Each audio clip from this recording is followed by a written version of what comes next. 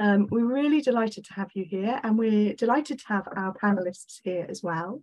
Um, I'm going to ask them to start with a, a fairly kind of brief introduction, a little bit of information about where they started, how they got to where they are now, um, and also we asked for questions in advance and lots of people were asking about different degree subjects. Um, does it matter if I've studied politics or something different? Do I need a master's degree? What options are available? So as our panelists talk about their career history, I'm going to ask them just to mention what, what they studied, if they think it matters, if they think a master's degree is important. I know we've got a bit of a mix of our panelists of different jobs um, and different career paths. So, so hopefully we'll have some interesting um, answers to that. Sure, thank you. Um, thanks, Becca, and, thanks for having me on today. Um, so yeah, just a very brief kind of introduction. Uh, I'm a, a, projects manager and also a research analyst uh, in the Africa program here at Chatham House. Um, for those of us, for those of you who haven't heard uh, of Chatham House before, our official name is the, the Royal Institute of International Affairs. Uh, we're a policy institute or a think tank um, providing kind of research and, and convening on key international relations issues. Um, I think in terms of kind of the general the topic of today um, around careers and policy, I think just to, to say up front, uh, we're not an implementation organization, so we don't kind of carry out policy interventions directly. Um, we're a charity, um, but we're also not a kind of advocacy organization. So we're fully independent. We don't take kind of institutional positions on particular um, issues, but we're in this kind of uh, space in between academic uh, research and, and policymakers. So we're trying to provide um, solid evidence, recommendations, give a kind of platform um, for dialogue on policy issues. Um, and that's where the Chatham House rule also comes in, which, uh, which may be familiar to some of you. Um, in terms of my own role, I've been working here for four four years now. Um, I did a, a, master's at Cambridge in international relations in uh, 2017, 2018. Uh, I handed in my thesis and I started uh, here as an intern uh, the very next day um, in the Africa program. Since then, I've worked across uh, several roles in the team, um, and that's given me the opportunity to work across a range of different projects, international conferences, um, research outputs across uh, multiple countries uh, in Africa. So I'll stop there for now, but looking forward to the Q&A and to, to hearing from my fellow panelists. Thanks very much. Uh, and thank you for the opportunity uh, to participate in the in the panel.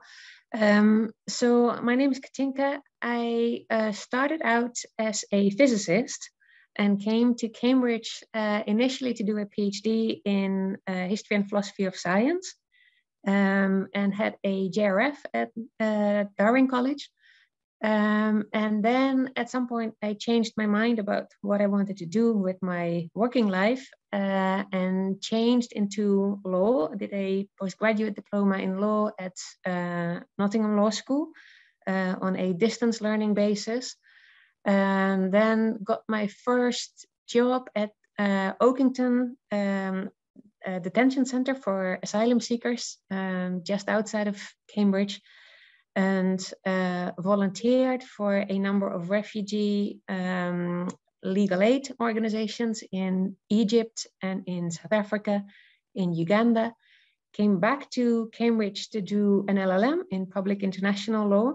And since then, I've been working in the field of um, refugee legal aid and research uh, joined Human Rights Watch, where I had a fellowship, um, then moved to the Norwegian Refugee Council in, um, in Geneva. And since 2011, I've been working in the uh, policy and law service of, uh, of UNHCR, of the UN Refugee Agency, where I'm responsible for, um, for researching the conditions in the countries of origin of asylum seekers and um, supervising, overseeing the work on uh, the positions that UNHCR takes on the um, on those conditions and on what that means for asylum seekers and their needs to be recognized as as refugees. Uh, actually, I come from an engineering background, uh, and uh, what I, uh, from a chemical engineering background to be clear, and I felt that there was a need for me personally to work with more people. So uh, I took interest in uh, psychology. I did a master's in psychology. And I moved on to pursue research roles in uh, India uh, briefly uh, in the Indian Institute of Technology, later in the Indian Institute of Management, where I worked in different fields like communications, business policy, uh, as well as you know design thinking briefly. And then I, while I was working there, I took a deep interest in uh, you know how the government in India was changing, governance in India was changing, and I felt personally that if I could combine, if I could understand uh, policy through research, through a researcher's lens, it would aid me really well. But I wasn't uh, qualified in public policy, so I applied to LKY school, uh, got a full scholarship, uh, and I pursued my master's there. And since then, uh, uh, I have been working in the tech policy sector because I got interested in the innovation and how governments change and evolve and adopt innovations. Uh, since my graduation, I worked briefly in uh, a Singapore-based uh, consulting firm who work with leading tech policy uh, technology companies uh, who are uh, you know working across asia. So i was covering around 11 countries and the policy developments in south and southeast asia. And after that uh, i decided to you know uh, take a research branch branch once over again. Uh, i applied to asia house. I got a fellowship where currently i'm exploring the impact of cross-border health data sharing on digital health innovations in asia. And I'm studying six countries at this point. I'm two months into the project, so I'm very new, but I hope to achieve a good result from this project. Thank you. I'm Roberto Rosas. I am the Director of Global Advocacy at the Institute of Internal Audit. And uh, it's a professional association with global headquarters in the US, 115 affiliate organizations around the world, and we comprise of about 220,000 members. Um, my role is to help our affiliate organizations uh, develop and implement public policy strategies. So that comprises of 115 different jurisdictions that uh, I get to learn about and work with our partners with. And it's very interesting because I get to know about different legislatures, regulators, and political structures and I help our members um, protect the interests of the profession. And for those of you who don't know, internal auditing is an independent objective assurance and consulting activity designed to add value to organizations and their operations. And in terms of what I studied and how I got to public policy, I studied business administration with an emphasis in accounting. And I actually spoke at one of the major profession associations for accounting, uh, one of their conferences. And the director of political affairs came up to me afterward and said, I want you to work for me. And so that's how I got connected with that world here in Washington, D.C. Uh, what followed after that was uh, working as a lobbyist for that association, then working on Capitol Hill as a congressional staffer um, in my hometown member of Congress's office. Uh, after that, uh, the timing was very good. I had someone reach out to me and ask if they could submit my resume to the Biden Harris transition team. And I said, why not? Um, and shortly thereafter, I started with the Biden administration uh, at a federal agency working in congressional affairs. And since July of last year, I've been in this role at the IIA. So I'm very excited to speak with you. Thank you. Uh, hi everyone. I feel a bit stitched up now, having to follow the uh, follow the Biden guide. But uh, I'm just uh, I'm associate director of education at a UK-based firm called Public First. Uh, we primarily do pol- policy work informed by public opinion. So uh, we run a lot of our own polling, we run a lot of focus groups, and we help organisations and work out from that what they should do about their policy challenges. Um, I had a bit of a circuitous route to a policy job. Um, I when I graduated from Cambridge, I had a history degree. Uh, I knew two things. I didn't want to do any more studying for a bit, and I wanted to stay in Cambridge, and that was it. Um, I hadn't kind of done a huge amount of careers planning, so I stayed at the university um, as a schools liaison officer for Downing College. Uh, I did a lot of work with UK schools on widening participation, widening access uh, to Cambridge and to other kind of high tariff universities in the UK. Um, that kind of exposed me, I guess, to a, a lot, a kind of broad range of the education sector in the UK, and from there have sort of fallen sideways into a, an education policy job, um, picking up a master's along the way, which I did part time at Birkbeck. Um, so yeah, a little bit different to the rest of the panel, but uh, yeah, hopefully, hopefully all interesting. Thank you, and thank you to all of our panelists, and hopefully from the mix um, of different things that they've studied and different things that they've done, I think our audience might be picking up that um, there are lots of different routes into lots of different kinds of policy work. So in answer to that question of do I need a master's degree in public policy? Not necessarily, um, although um, in, in some cases it might be helpful. Unsurprisingly, in the questions we gathered in advance, um, lots of people were saying just an idea of what your job involves. We've got quite a wide range of different jobs um, across the panel. What does a day in the life look like?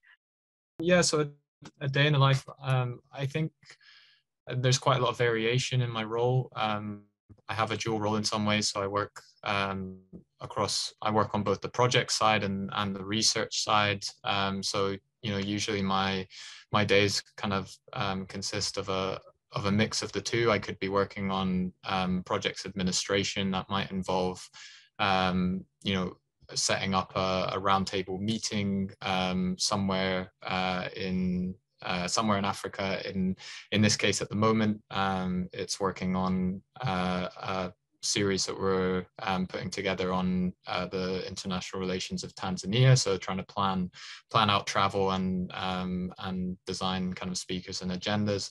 Uh, and then on the on the research side, it um, you know a mix of things, kind of trying to keep on top of uh, of current uh, events that are going on and and significance of those. It may be that uh, there may be a media request, there may be um, a written piece um, that I'm working on, or or a podcast interview, or something similar to do as well. So, um, so usually it's a mix of that kind of um, more administrative side and um, I guess that more research focus uh, side. But I yeah I enjoy that that aspect of it to to mix things up.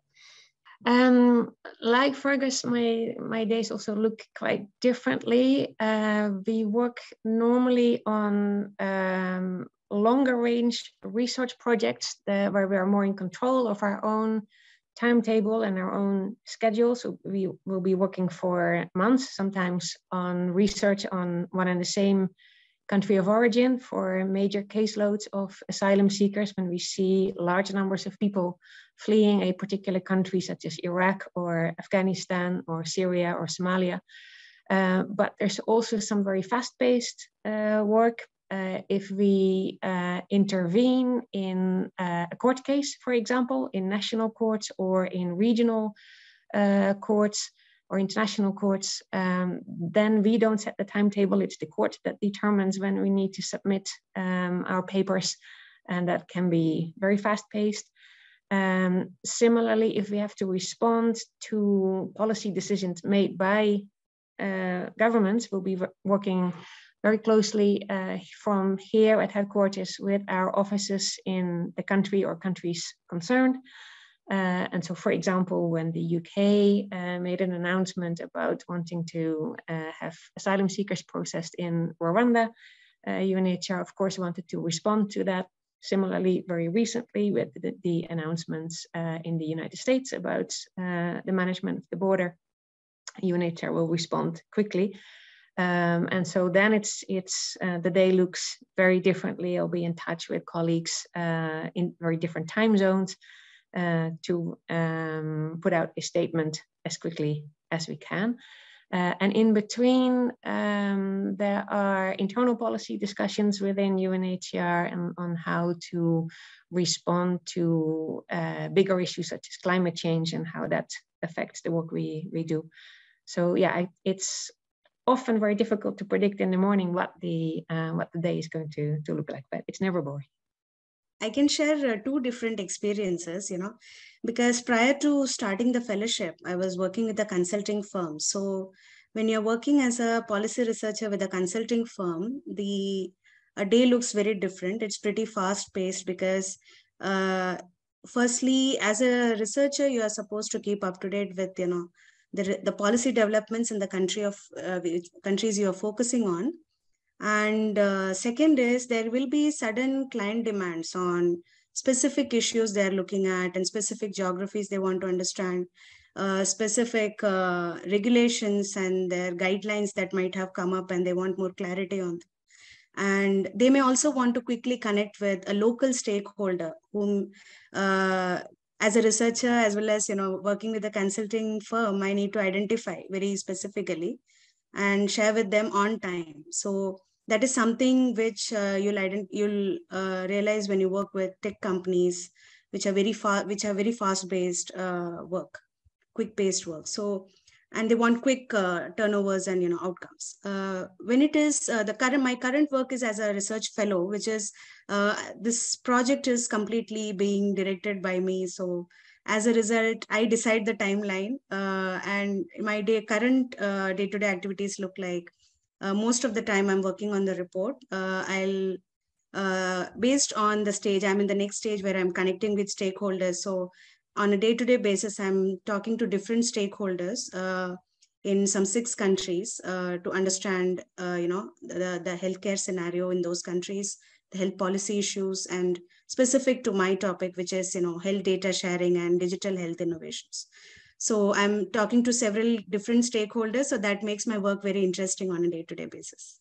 Day to day in my life uh, can really vary as well. I'd say sometimes they start early in the mornings because we have people who are in, in different time zones and so it's nice to be able to get to work with people who uh, are in asia or africa and, and, and start the day and then uh, with uh, an issue that maybe they have in their parliament whether there's a, a bill that perhaps needs uh, amending so that it can uh, we can mitigate risks to our profession uh, and then maybe ending with something uh, in, in South America to focus on regulations and, and see how we can influence that process. I think the most interesting thing for me is seeing that we can make a difference in all of this. And given that government puts up a proposed rulemaking, we build coalitions, we work with other stakeholders to analyze the impacts of what certain um, policies effects would be and you know putting forth our own suggestions and uh, representing the voice of the profession uh, as we are one institute i think is uh, really rewarding um, public first is a, is a consultancy so we have a kind of consultancy model um, if you've ever looked at one of the big consultants, so sort of your McKinseys or Bains, and thought that looked interesting, but the work itself looked quite boring, I can recommend Policy Consultancy. It's the kind of perfect mash of the two. Um, so we have a range of clients from across the education sector. The day, therefore, normally starts sort of tracking or checking what's going on with with the things they are most interested in. Uh, so recently, that's been I work particularly for universities, higher education institutions. So announcements on changes to policy around international students are all you know really interesting uh, things about fees and funding developments in research policy um, that are coming out of, of government especially as the uk government has kept changing over the past three months that's kept us um, particularly busy we do a mix of projects so policy projects on a specific issue where we will go and test an issue test messages find where the electoral coalition for that might be, find, you know, what groups of people in the UK, you know, find particularly interesting or important. Um, again, for universities, it's often about how the university might be perceived in their local area or across the UK or internationally. It's kind of a bit of reputation and how that links to policy as well.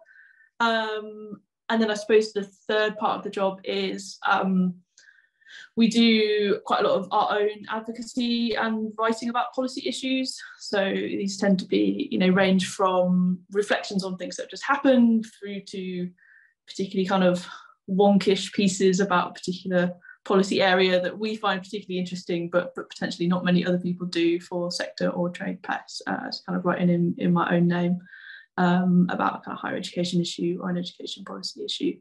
Um, and then usually by then it's about six o'clock and you can uh, clock off and go to the pub.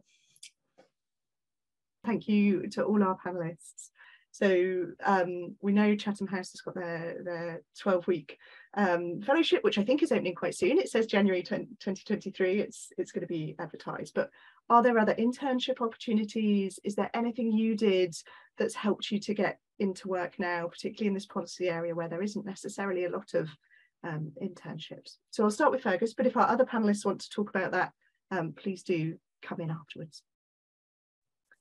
Sure. Um, so I think the the main thing that I I would want to say about this is, you know, I think when I certainly when I was kind of uh, leaving after or kind of coming to the end of my masters, you know, looking at wanting to um, to work in kind of the international affairs sector, I think it can be quite um, intimidating to an extent. It can feel like there's a lot of barriers to um, to getting involved that you might you might feel that you need, you know, in, international experience, you might feel that you need um, experience within the specific um, sector. Neither of those were really um, true in my case. I, I had some experience working um, in an MP's office over the summer, but other than that, I had kind of, um, you know, a regular um, summer job outside of my, my studies, working in retail. and I think just the, the important thing um, or the important lesson to say out of that is that I think that you know the vast vast majority of people that apply for roles, um, you know, in international affairs at Chatham House elsewhere, um, have strong degrees in, in multiple, you know, in, across different subjects, have, you know, good research skills, um, all the rest of it. And I think what often can set you apart is um, administration skills, showing that you have um, skills in terms of organization, in terms of um, being able to um, to organize and, and run and manage kind of projects on that side of things. And I think um, that's where you know I think that those are actually the areas where you can set yourself apart um, rather than necessarily needing kind of you know it is useful to have um, to have internships uh, elsewhere you know in, in, within the sector I'm sure but but I think um, a lot of the job is that administrative side. And I think um, that, you know, certainly people without um, without that access at you know at certain stage um, shouldn't be disheartened or feel that there's a there's a major barrier to them um, getting involved in in the sector. So I think it's about leveraging those skills um, that you have um, outside of that. But but that said, I think there's lots of um, internship opportunities across um, you know, uh, RUSI, um, the Royal United Services Institute, um, across lots of the other think tanks um, based in London and, and elsewhere should run uh, similar schemes. Kind of vaguely answers the question, um, but happy to uh, uh, follow up on that by, by email or, or LinkedIn or, or anything else if I can be a more. Thanks, Fergus. And actually that picked up on a question that we had um, submitted before the panel, which was about what can organisations do to kind of support underrepresented groups um, to enter policy. And you've already touched on that. And I, I, believe I'm right in saying Chatham House has made some changes to its um, uh, entry requirements where they no longer require a degree as part of that. So, so some really interesting stuff going on there. Um, I can see Jess with a hand up, so I'll come to you now, but if any of our other panelists, and I know Roberto and Emma, and I'm sure others have, have done some work with underrepresented groups, would be would be really nice to hear from you on, on that point as well. Jess. Yeah, sorry to jump in. I think I was just reflecting on what Fergus was saying. One of the hardest things I think about someone who wants knows they want a career in policy at this stage is that there aren't very many entry level positions. You know, there there are not a huge number of graduate roles. There are not big graduate schemes.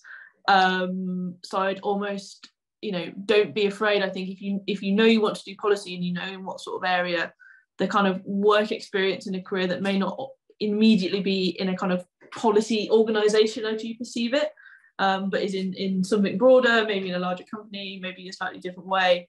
You know i think most i'm thinking of most of the hiring we do at public first. We're quite a small firm but we tend to pick people who have done one or two jobs in a relevant or associated area, even if that wasn't a policy role, if that makes sense. Um, so I think almost there is, you know, a huge amount of competition for some of these internships and, and kind of entry entry places. So don't don't be worried about spending a couple of years somewhere else in the field uh, and then kind of coming back into it?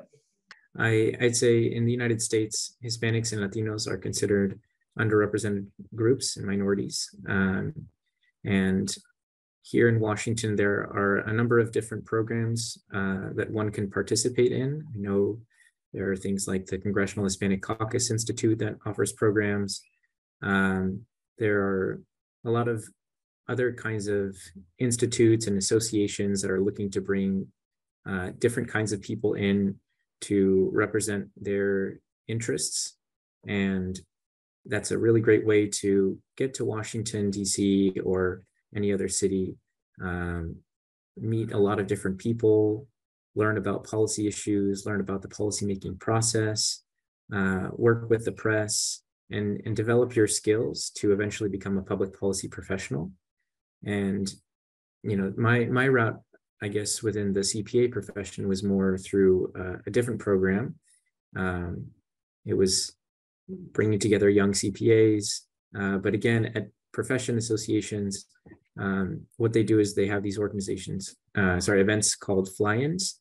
So that basically means they bring in a group of members uh, to advocate for their profession.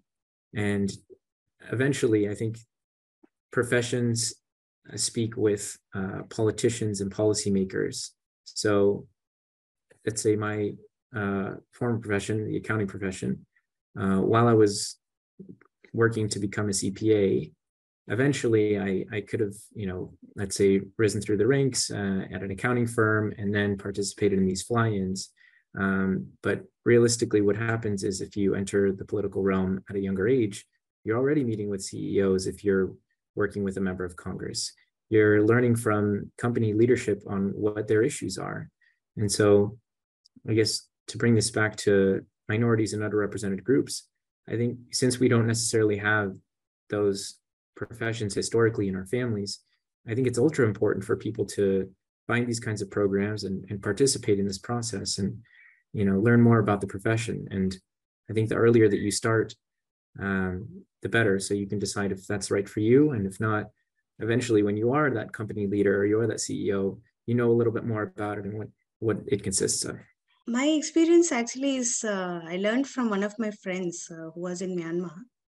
Uh, he's a he's a doctor. He's a public health professional prof- professional there. But uh, one way that uh, he took to policy was by working for international organizations who were uh, based out of Myanmar. So was already well aware of the local context, the local challenges. But since he got the support and aid, and you know the kind of access to professional networks through the international organization, he could uh, kind of enhance his uh, connections and uh, you know travel to different places, gain more experiences. And he's currently kind of working in uh, conflict zones mostly where healthcare uh, professionals are required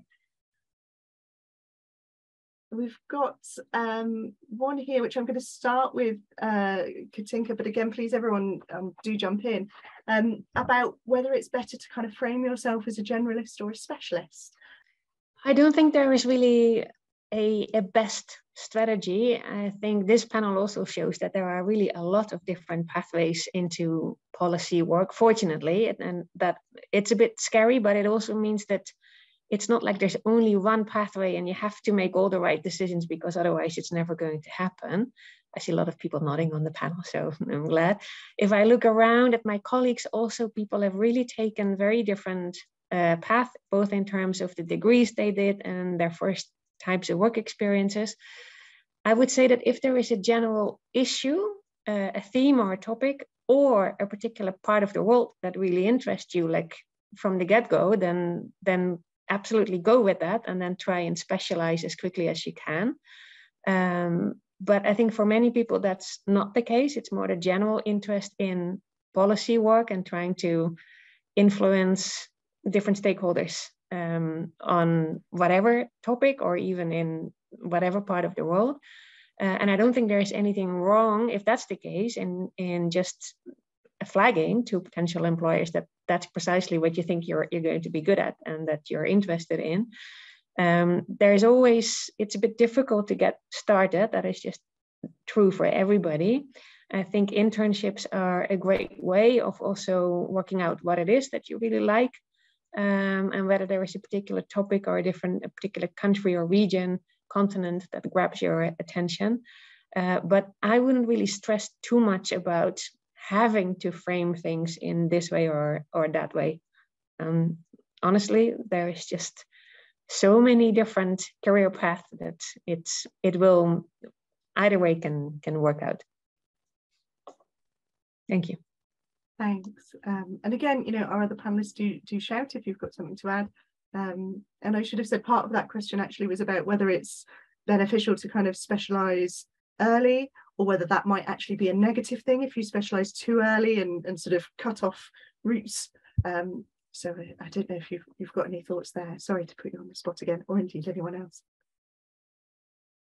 Um, Fergus, a, your, your, your microphone's yeah, off happy to add on that. I mean, I think on the point about limiting uh, career options, I, I would say um, no. In my experience, I think that you know, from an ex- from an external perspective, it can sometimes be um, difficult to, or you can underestimate the level of kind of internal um, complexity and bureaucracy of kind of big NGOs and, and international organizations.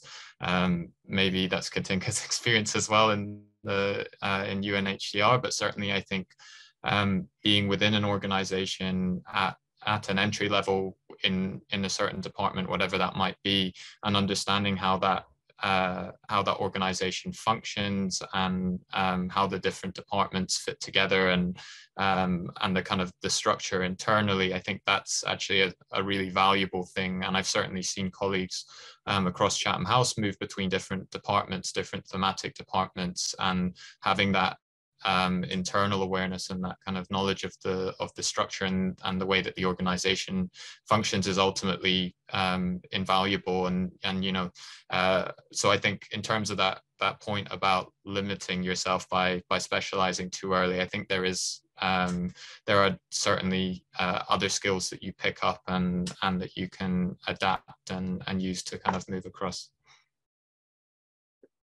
I'm, I'm trying to combine a couple of questions together to, to get the most out of it. Um, so we've got one which is about um, anything you might recommend to do straight out of university, but also another one about how long people tend to stay before moving on to something new. And, and I wonder if uh, any of our panelists feel they could answer one, one or the other. I'm going to put them both together as, as career progression questions. I think the most important thing if you are feeling a, again a bit unsure about the policy area you want to go in, which specific bit of policy, whether you want to be doing pure research, more of the advocacy side, more on the comms and campaign side, is to find a job that is interesting to you and where you are learning new things. And then when you stop learning new things, to move to another organization or to a different role. I think the from what I can see across the sector is that is that people tend to do quite short stints um, pick up a load of new information, new skills, new policy area, and then sort of almost move themselves on a bit. Um, I don't know if colleagues have kind of felt felt the same or felt, but it, it's quite a dynamic sector. Um, and if you just sort of know broadly that this is this is what you want to do, um, take something that looks interesting to start with, but then don't be afraid to after sort of 18 months, you know, two years, um, you know, move yourself and start building the, the portfolio. Because what you'll find is, is when you start in a role, you'll think one thing about, you know, about policy area, you'll learn a lot about it, you'll meet a lot of interesting people, and it might take you off in a completely new direction. Um, so I think a lot of the kind of policy careers that I've seen you know, tend, tend to be quite fluid and quite flexible. Um, but that, I guess that's what makes it fun. Uh, actually, I've experienced it, you know. Uh, before I think uh, studying public policy, my focus was mostly in research, and I wanted to pursue policy research from the very beginning. But I think after the after finishing a policy course, you're suddenly open to so many different opportunities. So something that really came my way was about uh, a consulting uh, kind of a research analyst role in a consulting firm. So uh, which is slightly different. You know, as Jess earlier mentioned, it's a combination of the best of, uh, you know, the real world and the, you know, academia in some sense. And Uh, however, what ha- the thing is, uh, I happened to stay for more than like for nearly three years, but still I wanted to come back to policy research. Like there's something always at the, at your heart that you know that calls you that a calling that you want to go back to. So I had to go back to research. So uh, that usually happens, but of course, you know, uh, I think one thing that's good about gaining new experiences is that uh, you gain different skill sets. And of course you tend to if you are smart enough you can what you can really do is combine them eventually as you grow in your career. And add keep on adding uh, more value to your own skills and apply them in a different setting perhaps so for example some of the skills i gained as part of the consulting firm while working for them was uh, how to deal with uh, different how to talk to different stakeholders how to understand their needs and talk to them accordingly and try to help them out in whatever way possible. Now that helps me when I'm talking to stakeholders as a researcher because now I want to ensure that they are comfortable, they are uh, able to share their experiences in a comfortable way, and at the same time, uh, I'm li- I'm learning the most from them. Uh, about the field about the sector and their own experiences so you can kind of combine your skills as you continue along your career and kind of uh, expand your own skill set uh, eventually. Um, maybe particularly for Emma and Roberto, uh, does having political affiliations, um, and they've said, does it lead to a lower chance of getting a, a public policy job? But do you, do you think it influences um, uh, your job? Is that something that you found is um, helpful, unhelpful, changes your career path a little bit? Uh, I can um, I can comment on the question about political affiliation. So in the United States, we're, we're slightly partisan. I don't know if you all have heard, um, but there are some differences between uh, Republicans and Democrats and independents. Um, I would say there, there are kind of these sort of unofficial rules that people say, for instance, if your member of Congress or your member of parliament is of one party, I think you get the chance to switch once. Um, I, I think you can definitely choose who, who you want to work for and kind of map out the career process there. But ultimately, I'd say this really is a, a timeline question because what I find is I do see that people have worked in partisan politics or they work with uh, a certain party and, and they kind of grow their career from there. As Emma mentioned, there are plenty of opportunities, irrespective of which uh, party you choose. Um, but let's say after some of the more partisan work that you do, you kind of level out because policy shops typically uh, hire from both parties. So you'll have a team of two Republicans or two Democrats, or let's say two people who have worked on on either side of the aisle, uh, or for a, a, given party, just to make it more international. So I I think yes, it definitely does help. Um, I was somewhere in the middle, and um, I think that also helps too but ultimately it's really about being able to collaborate with other parties and other people uh, in a professional way I don't think you have to pin your kind of political colours to the mast, mast at all. Uh, you don't have to have a political affiliation. It's not necessarily damaging if you do. But I think what is really important is sort of general political awareness of, of all the parties, of the main issues in your policy area, be that international, domestic, um, you know, being able to to think in a, in a political way and to be interested in the politics of the policy as well. I think everyone here on the panel has kind of mentioned in some way that they're interested in, you know, a regulation or a bill or a, what a minister said. Um, that kind of interest in politics, you know, I think I think is really really helpful. Um, but it doesn't have to be partisan. Uh, and if you want it to be partisan, you know, there are lots of jobs in, you know, especially in the think tank world, where you can you know start on the left or on the right and sort of start in, a, in an ideological way uh, but there's also lots of options where you know, I work with colleagues who have worked for the Labour Party, worked for the Dems, worked for the Conservatives. They now all sit next to each other and try not to fight too much. Um, but uh, yeah, there's lots of different options. Yeah, I would say uh, for UNHCR, and I, I'm pretty sure it's the same for the other UN agencies, it's not at all an obstacle in any way to have had a political affiliation um, before joining UNHCR. But once you join, uh, you have to position yourself as uh, apolitical. It's part of our code of conduct that we all sign up to.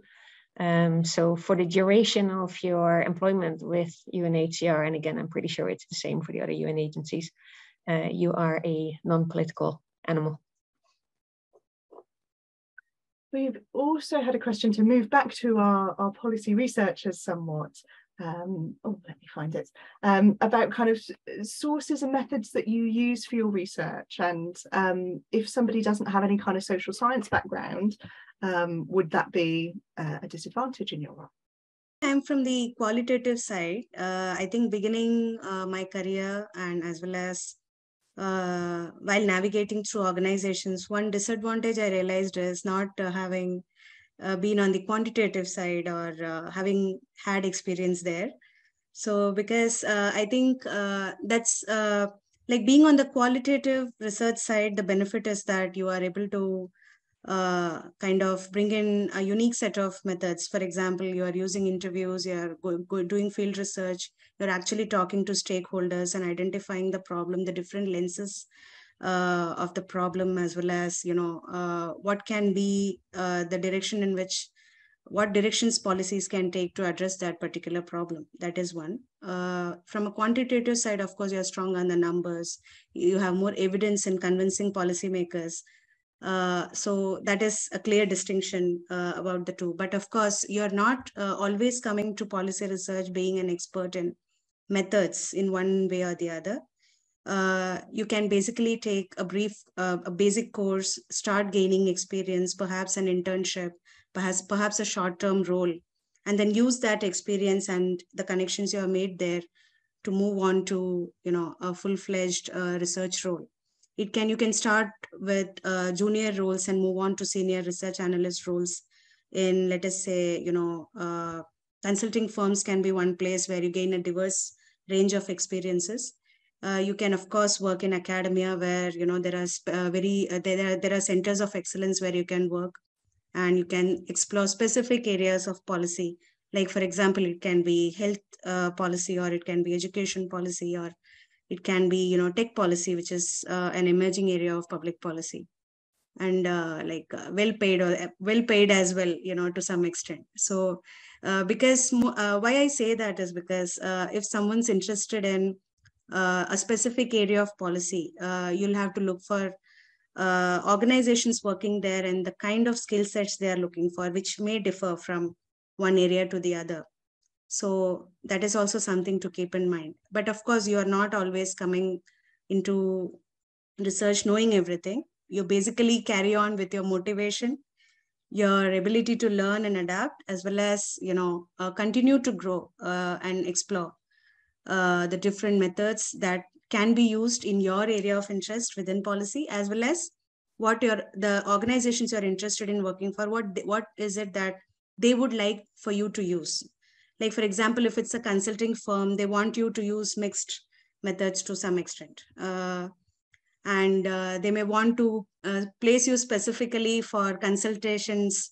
if you are a qualitative person versus you know if you are doing back uh, back end research you may they may expect you to be well versed in the quantitative side because you are preparing uh, evidences uh, evidence-based reports, you know, for policymakers. So these are the different areas you can explore. But first, you should be clear about your specific area of interest uh, within uh, public policy, because things change depending on the specialization. Yeah, just to confirm, that is very true for UNHCR as well. I, I answered in, in writing to, to this question also. Like my research now at UNHCR is almost entirely desk-based, but I have worked for NGOs in particular where the entire credibility of the research relied on being in the field and doing field-based research. But at UNHCR, it's a massive organization. I have 20,000 colleagues, um, and some of those work on public health issues, for example. And so their research methods are entirely different from, from mine. I have colleagues working on, uh, on education, on nutrition, um, there's a lot of legal interventions on all kinds of, of subjects on, on what we call housing, land, and policy. So there's a lot of research also that is very field based, that is really dealing with data collection through surveys, um, very different from the research I do.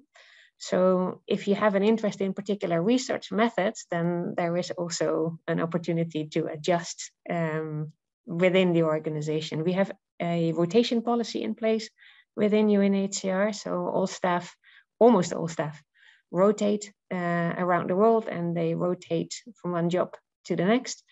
Uh, and the idea is that people get exposed really also to different elements of what UNHCR does. So it's perfectly possible within a career within UNHCR to also do different types of, uh, of research in, in different positions. Thank you. I was also at this point going to ask one of the questions that came in on our, our pre-survey, which is a sort of what do you wish you knew before you went into your this phase of your career? Um, or what advice would you give to someone, you know, to your younger self? Um, and I might ask that to everyone as we as we start to kind of draw to a bit of a close. I think the, the biggest piece of advice um, would be, or certainly for someone who's kind of emerging uh, from university, looking in, at their kind of first first steps um, into a career, would be, and in this sector especially, would be to not um, not think that you need to know it all or that you are expected to know it all because I think that's often a concern that people really think that they need to have um, they need to know everything they need to show research um, experience and, and and things on everything but i think certainly for entry level um, jobs for getting kind of a foot on the ladder um, i think the employer and this is certainly the case for for chatham house you know they want to um, they want to know how the internship, how the job is going to benefit you as much as it's going to benefit uh, them. And that means showing that, you know, you don't know everything, but that you really want to learn and that, you know, that you, that you are aware of that. And I think that's, um, yeah, that's a really, really important um, thing to keep in mind in this, in this sector. You, you don't need to know everything when, especially not when you start out um, and you never will. So yeah.